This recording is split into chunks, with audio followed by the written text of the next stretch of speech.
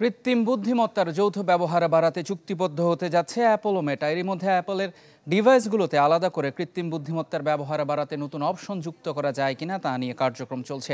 Apple জানায় মেটার পাশাপাশি অন্যান্য মহাদেশের কৃত্রিম বুদ্ধিমত্তা নিয়ে কাজ করার প্রতিষ্ঠানগুলোর সাথেও কার্যক্রম চালানোর চিন্তা করছে তারা।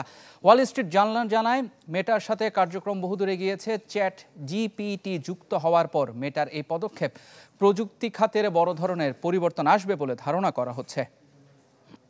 নগদের কাছে সব গ্রাহকই প্রিয়। তাই তো সারা দেশে ক্যাশ আউট চার্জ সবচেয়ে কম।